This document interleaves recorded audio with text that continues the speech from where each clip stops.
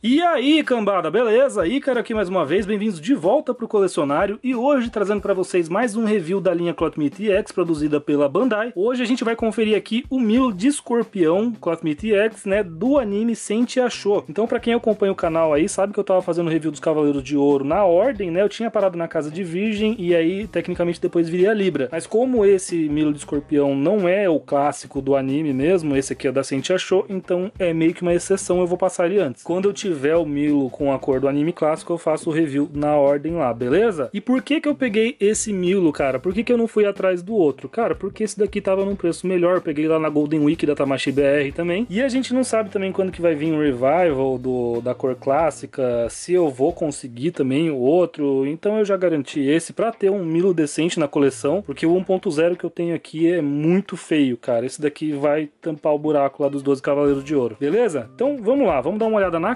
caixa aqui a gente tem esse formato um pouco diferente, né, dos outros Cavaleiros de Ouro, é óbvio, mas é uma caixa bem bonita também, eu gostei bastante. A imagem da figura aqui, ó, o símbolo, o signo do escorpião aqui, né, selo da Bandai, Tamashi Nations, qualidade aqui da Tamashi e selo da Toei Animation. Desse lado a gente vai ter o Object de escorpião. A cor da caixa é muito bonita, né, cara, é bem diferente, né, ó. Aqui desse outro lado a gente tem o Milo de escorpião fazendo a agulha escarlate, preparando a agulha escarlate, né. Na verdade ele não tá com a unha coisadinha aqui, mas enfim, eu imagino que ele esteja preparando o golpe, né? E aqui no fundo, a gente vai ter ele aqui apontando o dedo, né? Ele com algumas outras posições aqui, é opção de face, object de novo, enfim, ó, só prestar atenção aí, ô, ô Tamashi BR, que essa caixa aqui parece que tomou uma porrada aqui, ó, tem um monte de parte amassada aqui, ó, tá vendo? Dá pra ver aqui no brilho, né, ó, parece que tomou uma porrada aqui atrás da minha caixa. Normalmente eu não reclamo muito disso, mas fiquem de olho aí, por favor, né, ó. Enfim, aí a gente tem aqui a, a parte de cima aqui, né, ó, Scorpio Milo, Sentia Show Color Edition, Saint Meat X, e na parte de baixo a gente tem mais uma imagem dele com o selo da Pizzy e algumas informações em japonês, beleza? Então é isso, vamos abrir aqui, ele tá lacrado aqui, ó, vamos tirar esse durex maroto daqui e a gente já confere, cara, estão falando muito bem desse Milo na internet, já teve gente que falou para mim que ele é o melhor Milo que tem e eu fico muito feliz por isso, cara, porque o, o rosto do antigo, do EX antigo, realmente era bem feinho, né, cara? Assim, não, eu não iria reclamar, mas comparado com esse daqui era bem feinho. Ó, então a gente vai ter aqui o manual, tá? O manual é exatamente igual o, o Cloth antigo, né? O EX antigo só tem o nome aqui do anime da Sente achou aqui, né? Mas o, o resto, o design do manual é exatamente o mesmo. E a gente vai ter aqui três blisters, cara. Três blisters. O primeiro a gente vai ter aqui o próprio Milo, as ombreiras, o bíceps, o, o bracelete aqui, a parte da coxa, da caneleira, da joelheira, o protetor de punho. E aí no segundo blister a gente vai ter aqui, nossa, eu tô batendo em tudo aqui. A gente vai ter aqui o object completo, o cinturão, a parte do peitoral, do abdômen, do elmo dele e o rabo do escorpião aqui para pôr no elmo também, né? Aí no último blister, a gente vai ter aqui a capa, as mãos extras, as faces extras e o cabelo para você encaixar com o elmo, beleza? Então vocês já sabem o procedimento aqui do canal, eu vou tirar tudo do blister, analisar e depois volto para falar com vocês o que eu achei, beleza? Olha aí, galera, voltando então aqui com o nosso querido Milo fora do blister, toda a armadura dele aqui espalhada já pra gente montar daqui a pouco. Vamos só dar uma olhada rapidinho rapidinho aqui no corpo dele, sem armadura, né? É um corpo normal aí da linha EX, né? Que vocês já estão acostumados, já apareceu bastante no canal aí. E realmente o que difere aqui é a cor da roupa, né? Do clássico, né? O pé é diferente, é claro, dos outros cavaleiros. E a Red Sculpt a gente vai observar depois. Mas eu já adianto para vocês que eu achei perfeita, mano. Enfim, eu vou montar ele aqui então e depois volto para conversar com vocês mais sobre a peça, beleza?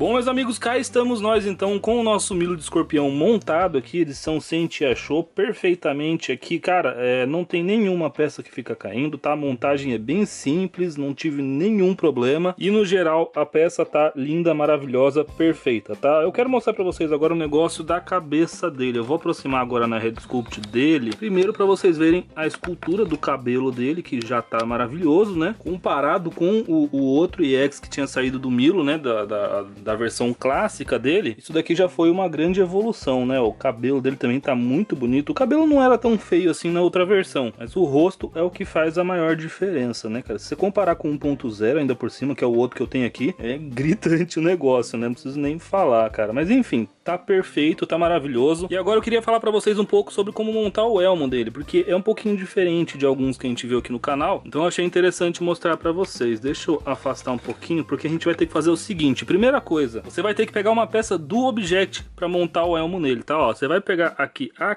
carcaça, deixa eu tirar o zoom de novo, né? Eu coloco, tiro o zoom toda hora, é assim mesmo. Ó, você vai pegar aqui o Object, você vai tirar essa pecinha aqui da cabeça dele e aí você vai tirar essa pecinha daqui de cima, ó. Se a câmera quiser focar, ó, essa pecinha aqui, ó, ela desencaixa, ó. Isso aqui você vai usar para encaixar na cabeça dele. Então a gente já deixa separado isso daqui aqui, volta o Object lá pra caixa, depois eu faço o vídeo com ele, né, com a montagem dele para vocês. E aí volta o zoom de novo no Milo aqui, ó, que a gente vai trocar a cabeleira dele agora. Você vai fazer o seguinte, você vai tirar franja dele aqui da frente, ó. Puxa com cuidado aqui, ó, pra você não quebrar nada, pra não danificar a peça. O cabelo de trás também você pode tirar aqui, ó. Se quiser sair, eu agradeço. Aí você vai pegar aqui o cabelinho do blister, ó, que é esse daqui.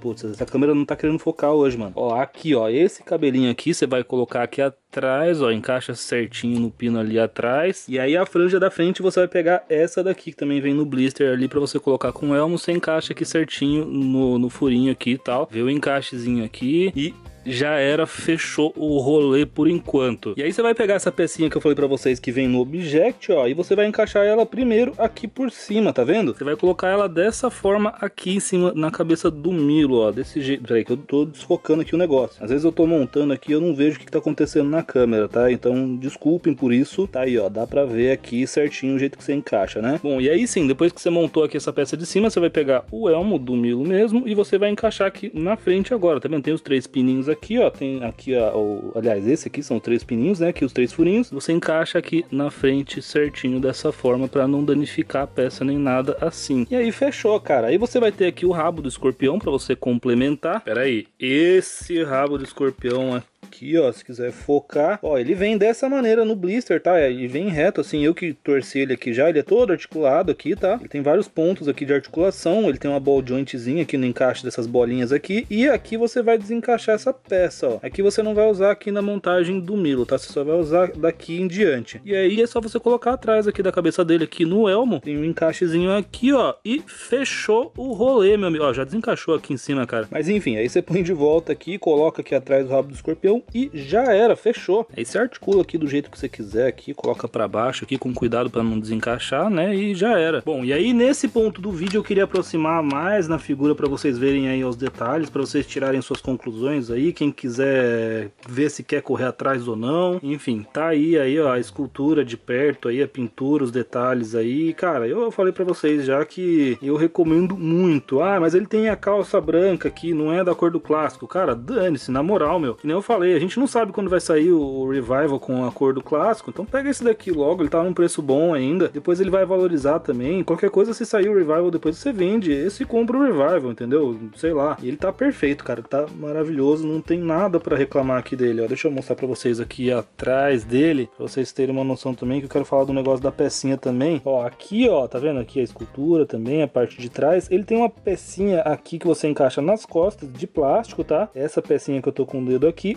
ou você tem a opção da capa, como em todos os Cavaleiros de Ouro, né? Essa capa normal aqui que a gente já viu em vários cortes aqui do canal, né? Ah, uma coisa que eu, eu queria comentar é sobre a cor da capa. Na CCXP eu tinha feito um vídeo, cara, falando do protótipo que a capa dele tinha que ser vermelha, porque no pôster da Saint Achou tinha aparecido vermelha, e no final das contas no anime tá dessa cor aqui mesmo, então tá certo, não tem mais nada para reclamar aqui nesse ponto. E aí a gente fala um pouco agora dos materiais, tá? Então a pecinha das costas, que nem eu falei para vocês, é de plástico, né? Essa pecinha que tampa a peça das costas. E aí, que mais que a gente tem de plástico aqui? Só o, o elmo dele, a parte do rabo ali, do rabo do escorpião, né? A parte do abdômen e os protetores de punho, tá? Só isso é de plástico, o resto é tudo metal diecast. Como costumam ser os cavaleiros de ouro dessa linha mesmo, né? 90% dele é diecast, tá? Agora, dando uma olhada na articulação, que nem eu falei para vocês, ele tem articulação aqui no rabo do escorpião, tá? Ele tem articulação a cada cinco gominhos aqui, ó. Ele tem um ponto aqui, outro aqui, outro aqui, e ele tem um ponto aqui também no ferrão, tá? Então são quatro quatro pontos aqui, tá? Aliás, cinco contando com esse daqui que encaixa no elmo. Aí na cabeça dele aqui, ó, você vai erguer até aqui, tá? Ele olha bastante para cima,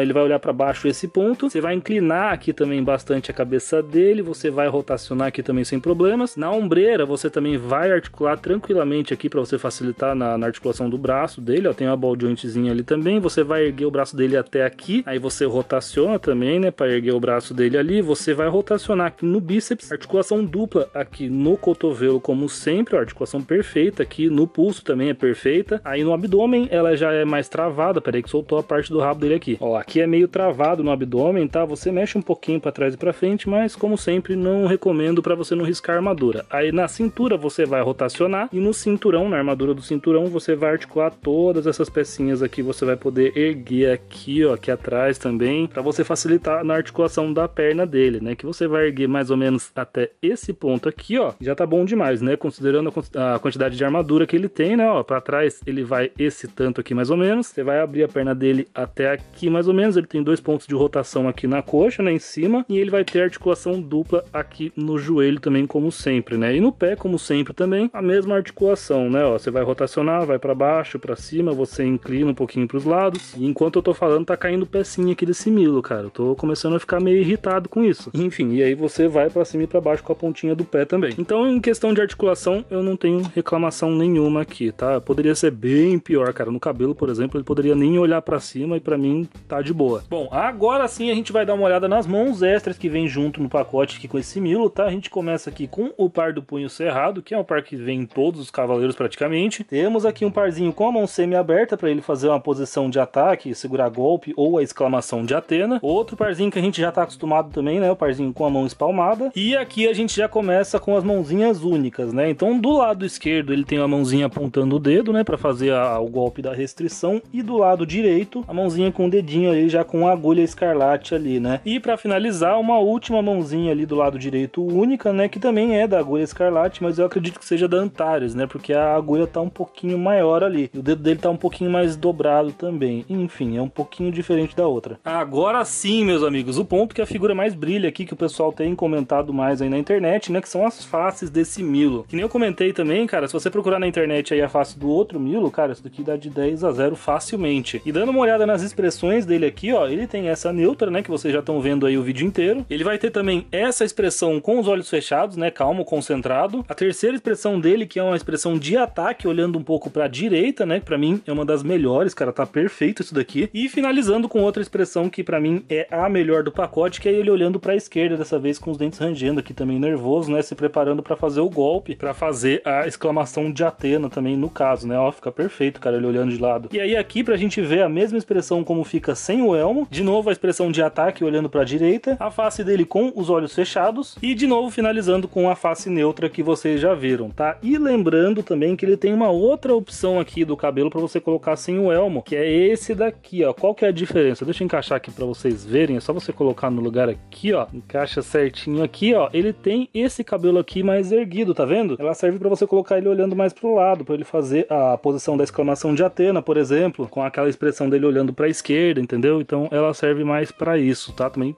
perfeita, maravilhosa essa escultura. Bom, galera, como sempre, tá aí uma prévia do Object de escorpião para vocês verem como que fica mais ou menos e para quem tiver o interesse, o vídeo da montagem desse Object já tá no canal. E a gente termina assim mais um review aqui no canal, espero que vocês tenham gostado, mais um Cavaleiro de Ouro aparecendo aí, né? Vamos para as considerações finais então. Cara, minha nota para esse Milo vai ser 5, tá? Eu dou uma nota máxima para ele, cara, porque eu não tenho nenhum ponto aqui para reclamar dele, tá? No máximo, eu tive problemas com as pecinhas que ficaram caindo no meio do review, que nem vocês viram, né? Mas é questão de encaixar direito também. Eu estaria sendo muito chato, na minha opinião, se eu tirasse ponto por causa disso. Mas tudo encaixa perfeito, a escultura é perfeita, a pintura é maravilhosa, cara. A fidelidade, o rosto dele, cara, é o que eu falei, se você olhar o antigo, isso aqui é uma perfeição da Bandai, entendeu? Então, para mim, não tem nenhum ponto aqui que eu possa reclamar. E eu tô finalizando o vídeo e ele tá sem a cauda aqui atrás. Agora que eu vi, mano, deixa eu encaixar esse negócio aqui, pelo amor de Deus. Que vacilo da minha parte, meus amigos. Aí, ó, agora sim, agora tá completo. E na parte de recomendação, é o que eu já comentei com vocês. Pega, cara, se você não tem o Milo ainda, pega, cara. Se você tem o Milo, se você quiser um rosto melhor, também vale a pena. Vende o antigo, compra esse. Quando sair outro revival, vende esse, compra o novo, entendeu? Enfim, vale muito a pena. Ele é perfeito, cara. E qualquer coisa que eu for falar mais aqui, eu só vou estar tá me repetindo, cara. Então, é isso. Esse foi o meu review deixa seu like aí se você curtiu. Deixa aí no comentário também o que, que você achou da peça, se você tem, se você vai correr atrás. E se inscreve no canal se não for inscrito ainda. Dá uma olhada nas playlists aí, tem vários reviews no canal já. E ativa também o sininho para notificação para você saber quando tiver vídeo novo aqui no canal, beleza? Então é isso, muito obrigado para todo mundo que acompanhou esse vídeo até o final. Valeu mesmo, eu vou ficando por aqui, a gente se vê na próxima.